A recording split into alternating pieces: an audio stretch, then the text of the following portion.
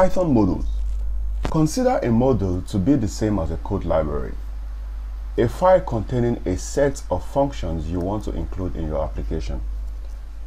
Actually, a module will allow you to logically organize your Python code and uh, it's an object that you can it's an object with named attributes that you can bind and reference. Simply, a module is a file consisting of a Python code and a model can define functions, classes and variables. So let's see how this works. I've created two files. The first one is the working file module.py, and I have another model called outside. So this is the external module or this is going to be our main module.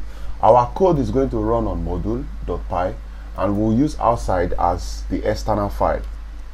So let's begin. We can start by writing a simple function that just adds sum. So add sum and we'll be collecting num1 and num2 and all this does is just add these two numbers num1 plus num2 and finally it returns sum to us. But like you see we've created this function in a file called outside but we want to use it inside of module. This is where our import statement comes in from. So if I want to import this file because they are in the same directory I would just say import outside. And doing this makes all the code inside of this file available to us. Now all the code is available inside module.py and I can decide to execute this function inside of this file. So let's do that. So now that I've import outside that is this file if I want to use this function inside of this file all I need to do is just reference the model name outside and the function. So what is the function? Add sum. Add sum and it takes into variables so 5 and 10 we can assign it to a variable let's say x is equal to and now we can print the value of x.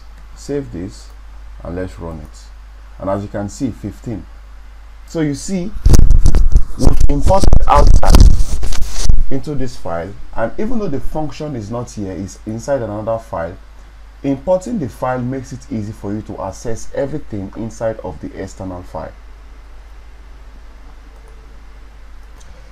You can also rename a module. So even though this file is outside and we import it as outside what if outside is so long and you want to do something short? We can say import outside as let's say import outside as maybe newer then now the name of outside has been renamed to newer. So when we want to use it we use newer. This is you renaming the module. That's how you rename a module. You just use as import outside as newer import outside as another module or new name. Let me say new name. Import module as new name. And this should still work if I run it you see 15 you still get the output. So that is how you rename a module. Also aside of the fact that you can also create your own module Python has a list of external modules. Remember when we did the math function we did import math so when you import math this is actually an inbuilt or external module from Python. And remember if we say math.pi math.pi is going to give us the value of pi. So this is an external module I didn't create this. It is already inside Python. We can also rename it as mx just like we did. So it becomes mx and it still work.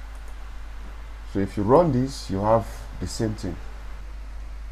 So also if you want to see all the functions that you have inside of a module that you've imported let's say maths you can remove the name so let's leave it as import maths then you use the dir function okay?